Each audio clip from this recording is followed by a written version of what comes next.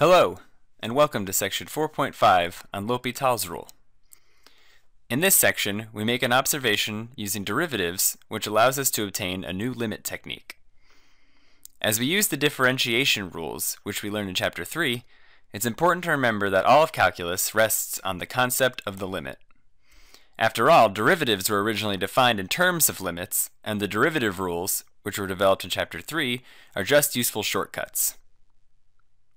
Recall that when we compute a limit, such as this one, the first thing we try is to plug in the limiting value of our independent variable. This becomes more difficult when direct substitution doesn't give us a concrete number. In some cases, however, we can still interpret the value of the limit using the information gained from direct substitution. In this example, we see that plugging in gives us 1 over 0. We know that this limit never exists because we can never divide a non-zero constant by 0. Even though 1 over 0 is not a number, there is no ambiguity in this case. The limit is unbounded, heading towards an infinity. Therefore, we call this a determinant form. Be careful with this new notation. It isn't that 1 over 0 equals infinity. It's that if a quotient has a numerator which has a constant limit, and the denominator has a zero limit, then the limit of the quotient has the determinant form 1 over 0, which means that the limit tends towards an infinity. Another example of a determinant form is 1 over infinity, which we know always gives the limit value of 0. Where things become really tricky is an example like this. When we use direct substitution, we get the form 0 over 0. It's not clear how we should interpret 0 over 0. In general, we cannot divide by 0, so we'd like to say the limit does not exist. However, we also know that any expression divided by itself is equal to 1. Because we have no good reason to pick one of these options over the other, we say that 0 over 0 is an indeterminate form.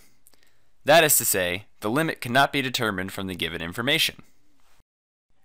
Here's an example of another limit which results in an indeterminate form. When we attempt to evaluate the limit, we get the form 0 raised to the 0. Again, there is ambiguity in this form. 0 raised to any power is equal to 0, but anything raised to the power 0 is equal to 1. Again, we stress that strictly speaking, 0 to the 0 is not a number. It is the form that this limit takes.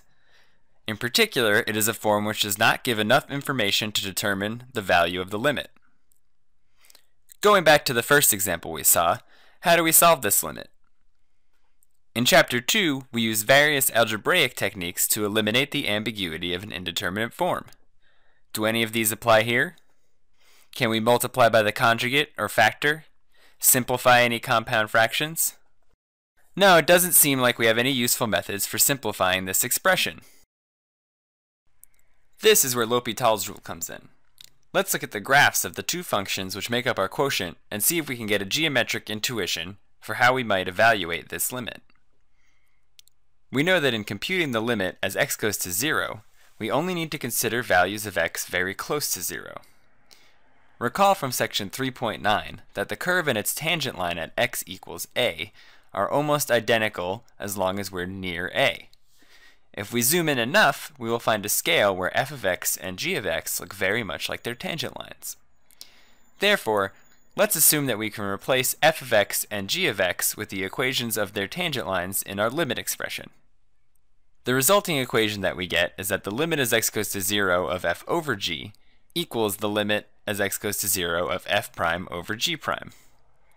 If we start with a limit which has the indeterminate form 0 over 0, we can always use this reasoning to compute the limit. This fact is called L'Hopital's rule.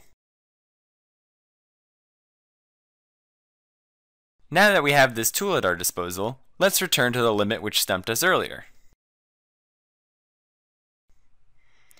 Since this limit has the indeterminate form 0 over 0, we can replace the top function f of x with its derivative f prime of x, and the bottom function g of x with its derivative g prime of x. Now, evaluating the resulting limit, we get 3 over 1, which equals 3. L'Hopital's rule tells us that this is also the value of the limit we had to begin with. Thus, the limit as x goes to 0 of e to the 3x minus 1 over sine of x equals 3.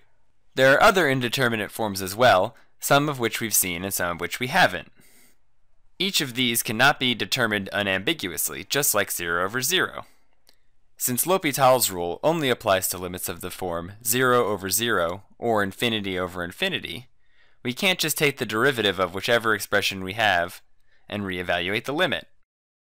In class, we'll discuss ways of manipulating each indeterminate form to get it into the form 0 over 0 or infinity over infinity so that we can apply L'Hopital's rule.